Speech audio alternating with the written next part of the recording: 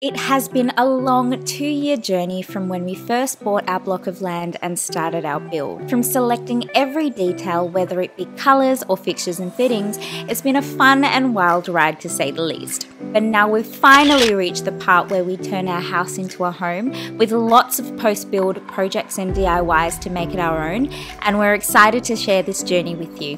Welcome to our home series. Hey guys, welcome back to my channel. In today's video, my husband and I are going to be applying an epoxy coat to seal and protect our garage floor. So this is what the garage looked like before we got started. Not too much to clear out. We literally received the keys to the house the morning of this day. And before we moved anything in, we thought it would be easiest to get the garage done before we moved because we knew once we start moving things in, it's just going to be a hundred times harder to clear and clean out the garage. This was our first time doing anything like this, and overall, it was a pretty easy process. However, I would say the prep was the hardest and most time consuming. Um, so, we first began just by sweeping the floor to remove any debris, and we also used a blower as well because the wind was working against us. And then came out the pressure washer. And honestly, I thought the floor was pretty clean just after sweeping it, but boy, was I wrong. Um, now, you don't need a pressure washer if you don't have one. You can just use a normal hose and a scrubbing brush, but we already had the washer, so we decided to use it, and it did make the cleaning process a lot easier. So, once you remove the excess water, you want to get a degreaser and really work it into the floor with a broom to make sure you lift off any oil spills or any other residue that may be on your floor. This is also the time you can use a scraper to get off anything that doesn't come off with the degreaser.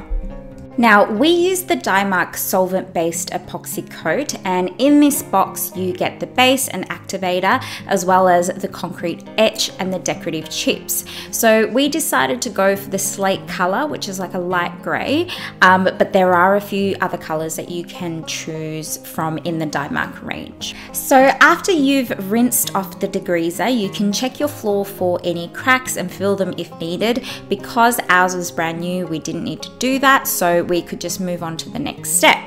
So you want to grab the concrete etch and mix it in with 10 liters of warm water in a watering can because this makes it the most easiest way to apply um, and you want to stir it thoroughly until the etch has completely dissolved. So we just started pouring the solution and we worked it into the floor with a broom. The solution can start to fizz um, when you're doing it and it's completely normal. And once you've covered the whole garage, you want to wash it off thoroughly and make sure there is no residue remaining. Now at this stage, it was like 10:30 at night, and so we just used our normal hose to wash off the solution, which did take more time, but we didn't want to use the pressure washer because it is loud and we didn't want to piss off our new neighbors. So the next day, we just did a once over with the vacuum and then we started to prep for the painting process. Um, some extra things we purchased were a paint tray, masking tape, paintbrush, and a paint roller. And for the paint roller, just be sure to use a concrete and paving roller. Um, we also used a roller extension. This just makes it heaps easier to save your back. And we first started off by masking off the edges um, of the floor with some painter's tape to have a clean line and to also protect the walls from the paint. Next up, we divided the decorative chip chips into four even parts as it's recommended to apply the paint in quarters and apply the chips as you go along. Once that's all done, mix part A and part B separately and then pour each can into a larger mixing bucket and stir well. It's best to tape off the edge of each can before you pour um, just to minimize any dripping of the paint. We then started pouring small amounts of the paint into the paint tray and working in sections. So with each section um, you do, you want to use the paintbrush first to trim the edges and hard to reach areas like the corners. And then once that's done, you can go in with your paint roller. The painting process was pretty straightforward. Um, it was a little tricky at the very start because you don't really know how thick to apply the paint and you don't want to run the risk of running out of paint at the end. Um, fortunately, we had quite a bit of paint left over, and in hindsight, we could have made the first two sections of the garage floor a little thicker. Um, nonetheless, it still looked great. Um, another thing we decided was to start by painting from the back of the garage and work our way to the front. Um, one, not to get trapped at the back where we couldn't walk over the, uh, the paint, and two, it's better to sort of get the mistakes, if you will, out of the way in the back where you can't really see it. And in this area of the garage, we'll probably have some shelves and things like that up, so that will also help with uh, hiding some beginner mistakes. Once you paint one fourth of the floor, you want to apply the decorative chips to the wet, freshly painted section to ensure adhesion. We found the best technique with throwing the chips was to just throw it up in the air and let them drop naturally. Um, this gave it the best look as opposed to throwing them at one area, which made it look weirdly concentrated in one spot.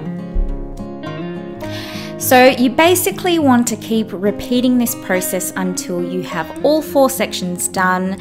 Um, and once you let it dry overnight, the floor is ready for light foot traffic in 24 hours, normal foot traffic in 48 hours, and then you need to wait seven days before moving cars over the surface. Another thing I'd like to also mention is that when we left the floor to dry overnight, we closed the garage door pretty much all the way, but we left about five centimeters off the floor open um, to one, help it cure properly, and two, to not also have any smudging um, of the paint from the garage door. So, this is what the floor looked like the next day, and it has been really hot the past few days in Melbourne, so the floor felt really dry um, and it was ready to have the masking tape come off. And we are absolutely stoked with how it turned out and with the color. Um, because we filmed in the evening, um, for some reason the camera is showing it as like a blue purple color, but it does have a true grey base. So I hope you guys enjoyed watching the first episode of our new home series. Make sure you subscribe so you don't miss out on any future videos and episodes. Thank you so much for watching, and I'll catch you guys in my next one. Bye!